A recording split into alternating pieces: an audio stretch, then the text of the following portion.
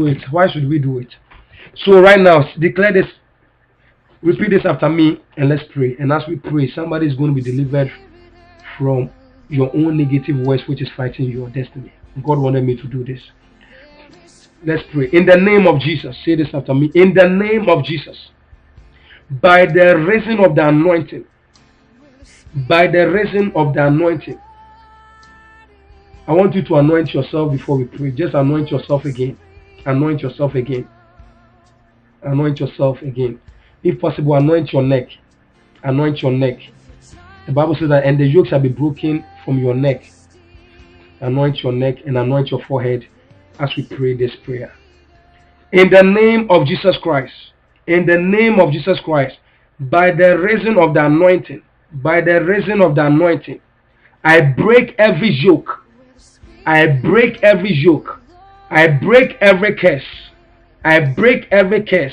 I break every spell of every negative confession, of every negative confession, negative pronouncement over my life by my own words tonight in Jesus' name. I revoke them. I revoke the curse. I revoke the yoke. I revoke the negative confession. I reverse them. I withdraw them. I take them back in Jesus' name. I free myself from every yoke upon my life through negative words in Jesus' name. I lose my destiny.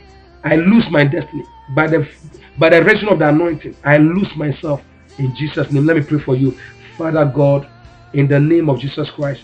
Let every negative confession that has tied anyone hearing the sound of my voice down because of their own negative words that they were pronouncing into their lives because of frustration tonight in Jesus name. Let the curse let the yoke let the burden let the spell let the demons that have held it against them tonight i break them free. I break them loose. I break them free. I reverse i revoke i withdraw. I take back in jesus name those words. I return them. I reverse them into blessing. In jesus name loose loose loose loose. In jesus name let the yoke be broken off your life.